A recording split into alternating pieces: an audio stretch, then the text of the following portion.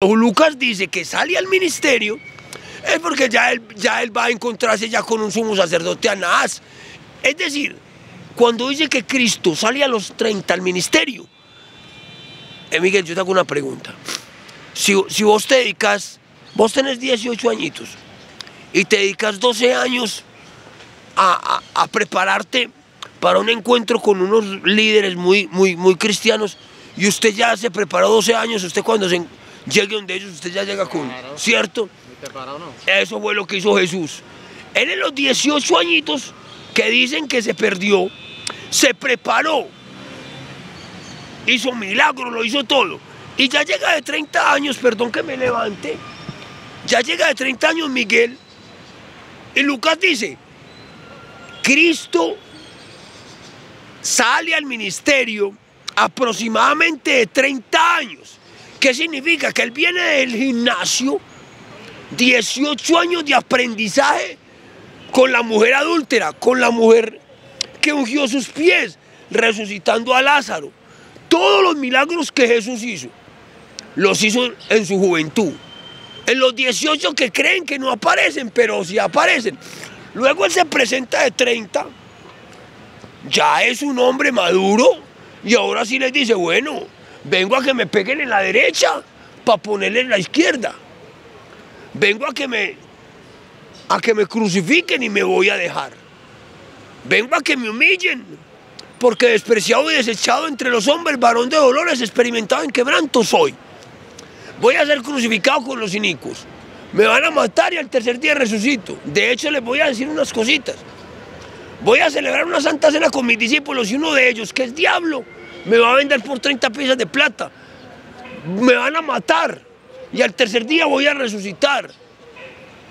Y en la casa de mi padre muchas moradas. Hay, si así no fuera, se los hubiera dicho, voy pues a preparar el lugar para ustedes. Pero ya, convertí el agua en vino, resucité a una niña que le dije talita kumi, le devolví la vista a un ciego, le, le devolví los oídos a un sordo, sané a uno que me tiraron por un lecho, caminé sobre el agua, multipliqué los panes y los peces. ¿Cuándo?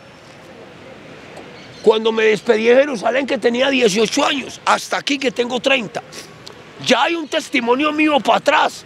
Y a ustedes, fariseos hipócritas, generación de víboras, serpientes, hipócritas. Capítulo 23 de Mateo, él les dice así, cuando él llega al templo, vea, el capítulo 23 de San Mateo, cuando él llega al templo, él le dice a los fariseos, escribas y fariseos hipócritas. Yo le hago una pregunta. ¿Usted cree que él tenía 18 años cuando se encontró con esos fariseos y les habló cara a cara? Ya tenía los 30. Ya tenía, los 30, ya venía la de que, ¿sabe qué? De que el diablo lo hubiera... ¿Usted qué edad cree que tenía Cristo cuando el diablo lo tentó? Ah, no era todavía el, mayor, era el menor. Era el de los 19 añitos. Vean, concluyamos con esto. Él a los 12 años va al templo de Jerusalén y se pone a enseñar. Desde ahí hasta los 30 se queda callado el escritor hasta que da una revelación y dice, Cristo va al ministerio de 30 años, queriéndonos decir a nosotros que todo lo que está escrito es lo que Él hizo entre los 12 y los 30. Pero la gente dice que no, que es al contrario, que lo que Él hizo, ahora, ¿usted cree que Jesús iba a hacer todo eso de los 30 a la crucifixión? No podía. No podía. Porque lo que, todo lo que está escrito en la... Hermano, yo le hago una pregunta. ¿Usted cuántos años cree que se demoró Jesús haciendo todo lo que está en los cuatro evangelios? ¿Mucho o poquito? Poco no. Ok, así. Mucho. De 12 a 30. En 18 años de, de trabajo Jesús cumplió los cuatro evangelios. Y de los 30, pongámoslo así, a los 40 o a los 35 o a los 33, cumple la última parte que es ir donde los fariseos, crearles el enojo contra él y empezar la persecución. ¿Usted cree que cuánto se demoraron los fariseos planeando la venta de cómo lo van a vender, cómo lo van a perseguir, cómo lo van a matar, cómo lo van a crucificar, cómo lo van a... ¿Cuánto? Eso, ¿Usted cree que un plan de muerte se demora mucho o poquito? Piense. Mucho no. Pues piense. Él llega de 30 años y ahí mismo planean la muerte de él. ¿Eso tiene que ser rápido o demorado? Rápido. Claro. Claro. Él llega de 30 años ya y se presenta en Jerusalén, ya habiendo hecho todos los milagros que hizo. Los hace de joven de entre los 12 y los 30. Pero ya a los 30 él dice, bueno, ya hay un testimonio mío. Las obras que yo hago no las hago, no las hago por mi propia cuenta, sino que el Padre que mora en mí, Él hace las obras. Yo estoy aquí en Jerusalén a la edad de 30 años, pero a los 12 le mostré al pueblo que siendo un niño, mi padre me respaldaba. Y entre los 12 y hoy hay testimonios de que fui donde la mujer samaritana, una mujer me tocó el manto y sanó, le devolví la vista a un ciego, Bartimeo, convertí el agua en vino, alimenté 5 mil. Entre los 12, ¿usted se imagina Jesús de 13 años, hermano? Si a los 12 sale del templo de Israel como un maestro a los 12, a los 13, vea, a Cristo no lo veían como un niño, lo veían como un hijo de Dios. Y él sale trabajando, caminando, ya se va desarrollando. Y cuando él, y cuando él ya, ya tiene la edad, yo le hago una pregunta. ¿Usted cree que es tonto creer que Jesús a los 18 años ya ejercía el liderazgo o es algo que, que es posible? Algo que es posible, ¿no? Vea, el único ser que altera el orden de la edad, poniendo más su juventud que otros, porque ahí está en la Biblia David. A David lo siendo un joven. El profeta Daniel también era un joven. Pero el joven más hermoso entre los hijos de los hombres y que se atrevió a predicar y anunciar el Evangelio siendo un muchacho, hermano, testificando con hechos reales, que los hizo, fue Jesucristo. Entre los 12 y los 30, Él hace que se cumplan los cuatro evangelios. Bueno, listo. Entonces ahora, ahora, ahora Miguel nos va a explicar esto. Yo soy Jesús de 12 y llego a los 30. A los 30, ¿cómo llega ya? Ya llega fuerte, preparado y con experiencia a pasar la última parte. Ya en esta, Él no viene a hacer milagros. Ya no viene a dar buenas nuevas. Ahora vienes a poner su cuerpo como el Cordero de Dios que quita el pecado del mundo. Yo le hago una pregunta. Para que lo maten, lo crucifiquen, lo humillen y pase lo que pase con él, ¿cuántos años cree usted que ordenó Dios? ¿Muchos o poquitos? Mucho no. Piénselo bien. Ya él llega a los 30 años Sí. para que lo maten. Dios quiere que eso sea rapidito o que lo torturen Ah, mucho. rapidito ahí. Rapidito. Sí. Entonces llega a los 30 y tiene que ser rapidito que lo desapa... Rapidito. Entonces él dice, "Vea, yo ya hice mi trabajo. Ya testifiqué, ya mostré quién soy. Ya hay miles de personas detrás de mí que me conocen. Cinco mil en el monte cuando los alimenté, cuatro mil allí cuando los alimenté. La mujer samaritana, es decir, a mí ya me conocen y ya saben quién soy, pero yo tenía que hacer dos cosas. La primera era hacer lo que hice y la segunda, dejar que hagan conmigo lo que tienen que hacer. ¿Qué es? Primero, tengo que dejar que ellos me juzguen. Y ahí es cuando dicen, ¿quién eres? El Hijo de Dios. Tú blasfemas.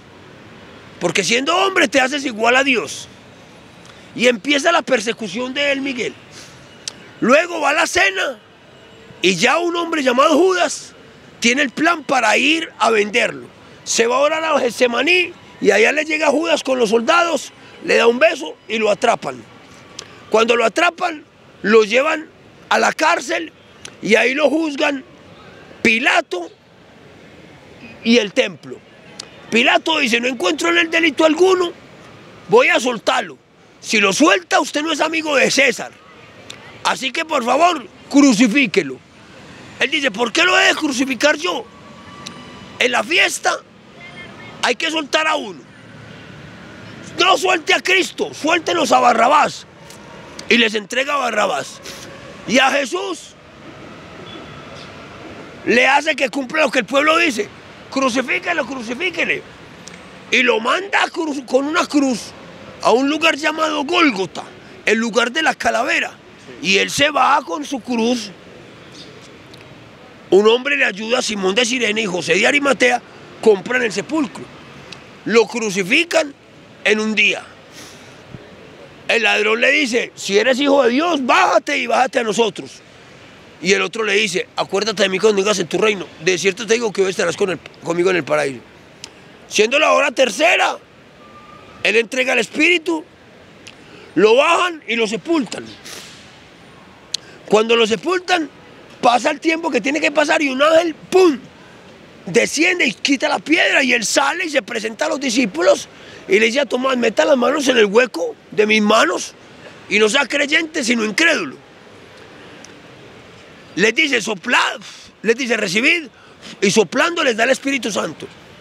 Y en vista de ellos se va para el cielo y está sentado a la diestra de Dios Padre. Y no hay otro mediador entre Dios y los hombres, sino Jesucristo hombre. Y Él es el camino, la verdad y la vida. Él es el buen pastor, Él es la luz del mundo.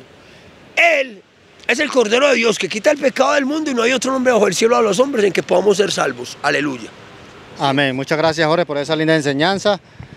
Y bueno, nos vemos en una próxima. ¿Algo que quiera decir ahí? Antes de, sí, siéntese.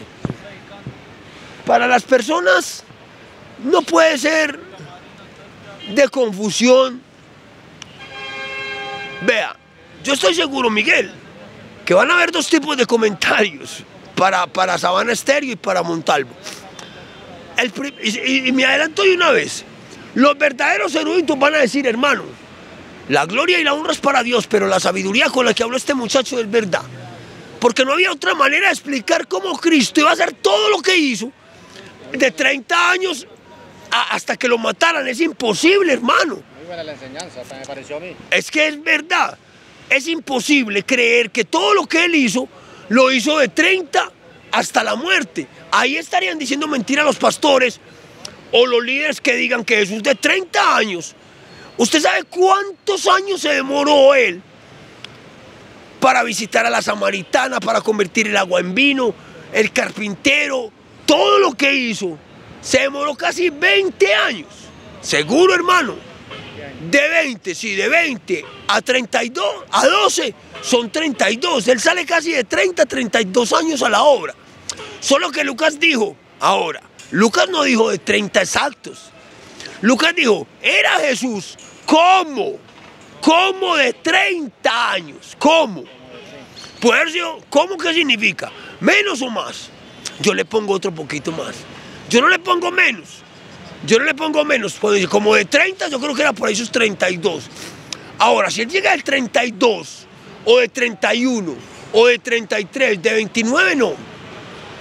Yo le pongo más bien de 30 hacia arriba cuando Lucas dice que era como de 30. Porque usted siempre lo mira y usted este, este tiene como 40, pero usted siempre busca que él sea bien, mayor. Usted nunca busca que la persona sea menor.